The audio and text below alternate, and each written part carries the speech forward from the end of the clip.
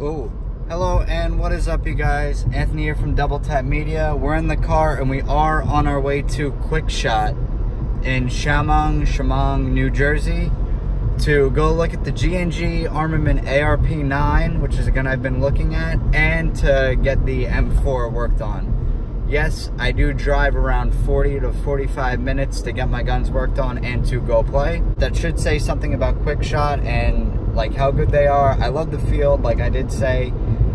It is a mini Nuketown. It's awesome. The staff there is amazing. The players there are very friendly. We just did a night game. If you guys didn't see on my Instagram, um, I am part of IPA now, Idiots Playing Airsoft. Um, we did do a night game there uh, a couple weeks ago.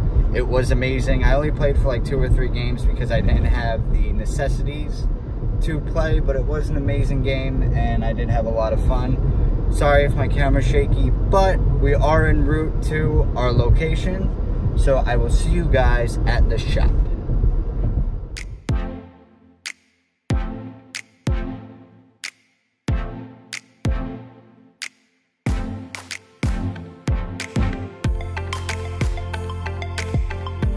We do have the G&G ARP9. Uh, we have it in the black and blue.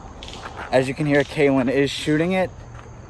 Um, this gun is really, really cool. I love this gun and I'm, I'm just dying to test it out and take a look at it. Um, it is very different when nobody is here, but let's take chrono it and take a look.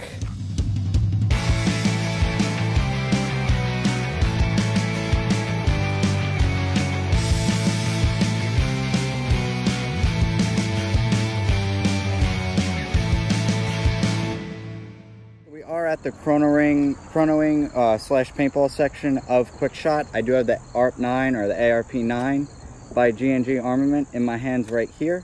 You do have a, well, I mean, today we do have the blue accented ARP9, but let's get into the gun, starting with the orange tip. This does come off, but you do got to put some love and effort into it, but it does come off. It is reverse threaded. You do have your blue inner barrel because this is blue accented your flip up sights on the M-LOK rail, your ambidextrous charge handle, and your rotary hop up.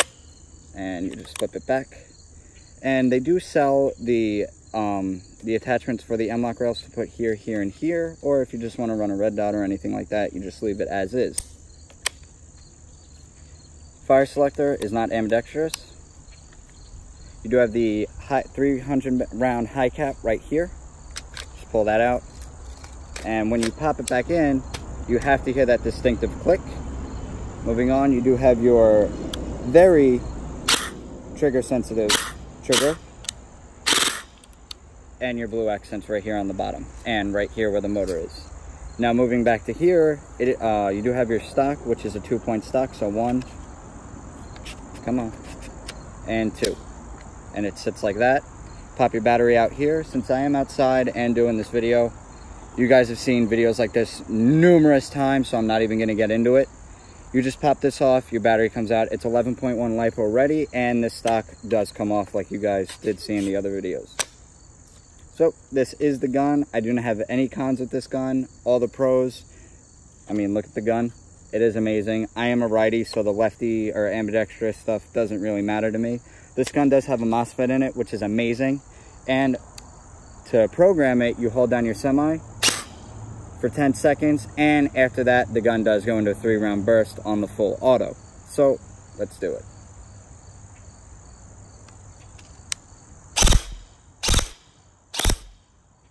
This trigger is very very sensitive. So without further ado let's shoot it have some fun and see how the gun performs. That sounds crazy. What's it chronoing at? 294 oh is it probably because the battery's dead or not fully charged. 295. Yeah, I can't even see those babies. You're hitting the cowboy. I know. That's crazy. I'm trying to get in between with like necktie. Kaylin, say hi to everybody. Yep, cool.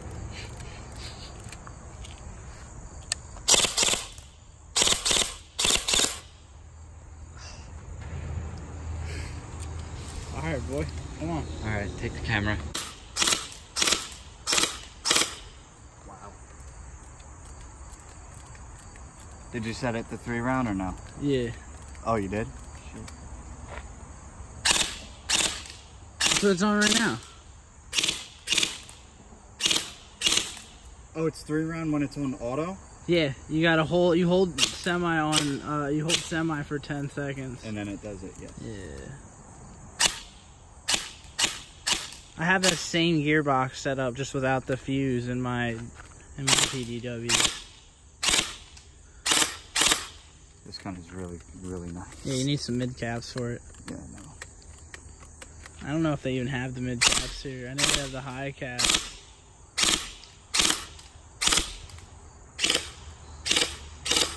Yeah, it's a fun gun. Full auto. Take two.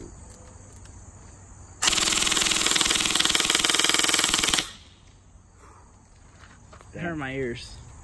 That hurt mine.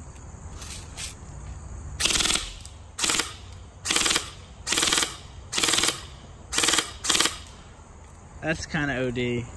That is. The trigger response is insane. Have you ever shot Derek? Do you know Derek? You die now. Yeah. You ever shot his gun? The gray and black one? Yeah. Yeah, dude, that thing is insane. You just touch the trigger. Alright guys, that about wraps it up for today's video on the G&G ARP9 in the black and blue. I want to give a big thanks to Quickshot in Shamong, New Jersey for letting me film and everything like that and having an amazing field. If you guys didn't see my last video on when I played, please go over there and look at it and take a look at their big showroom. But once again, thank you guys so much for liking, sharing, subscribing, stuff like that. And I've, you know, I've noticed uh, the last time I played at Quickshot or anywhere, um, some people did recognize me from the videos and from Instagram. So thank you guys so much for that. And I mean, yeah, I mean, I'm working on some videos uh, and some products with my 3D printer. So keep an eye out for that and I'll stop rambling like an idiot and I'll see you guys in the next video. Peace.